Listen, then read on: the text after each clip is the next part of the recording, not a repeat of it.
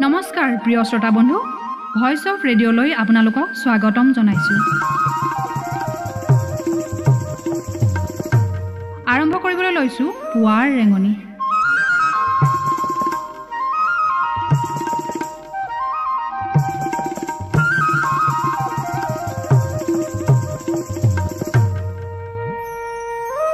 আজি দুহেজাৰ বিছ চনৰ একৈছ ডিচেম্বৰ সোমবাৰ।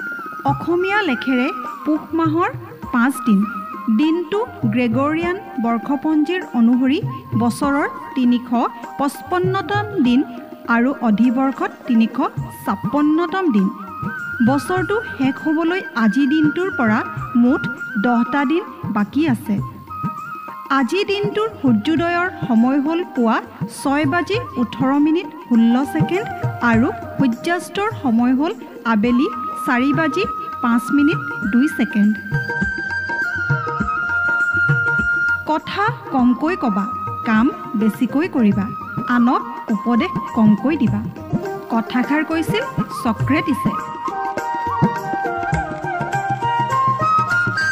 প্ৰিয় শ্ৰোতা বন্ধু আজিৰ দিনটোৰ কেইটিমান উল্লেখযোগ্য ঘটনাৰ বিষয়ে জানোৱা হওক।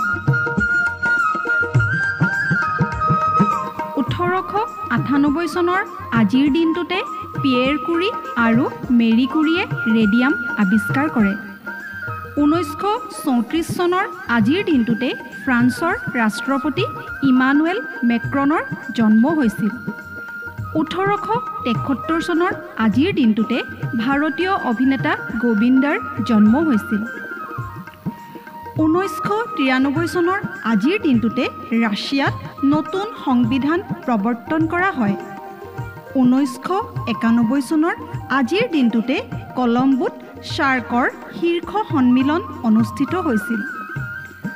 ঊনৈছশ ঊনোসত্তৰ চনৰ আজিৰ দিনটোতে এপ'ল' আঠ উৎক্ষেপণৰ ফলত প্ৰথমবাৰৰ বাবে মানুহৰ পক্ষে চন্দ্ৰ প্ৰদক্ষিণ সম্ভৱ হৈছিল। ঊনৈছশ আঠাৱন্ন চনৰ আজিৰ দিনটোতে দ্য গল ফ্ৰান্সৰ ৰাষ্ট্ৰপতি নিৰ্বাচিত হয়।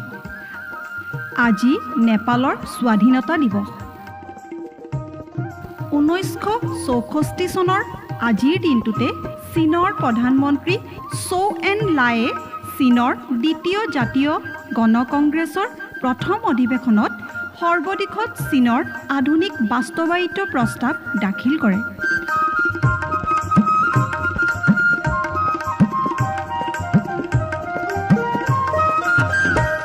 প্ৰিয় শ্ৰোতা বন্ধু এই চেনেলটো ছাবস্ক্ৰাইব লাইক আৰু কমেণ্ট কৰিবলৈ নাপাহৰিব। আপোনাৰ আজিৰ দিনটো শুভ হওক মংগলময় হওক তাৰেই কামনাৰে অনুষ্ঠানৰ পৰা বিদায় লৈছোঁ। ধন্যবাদ।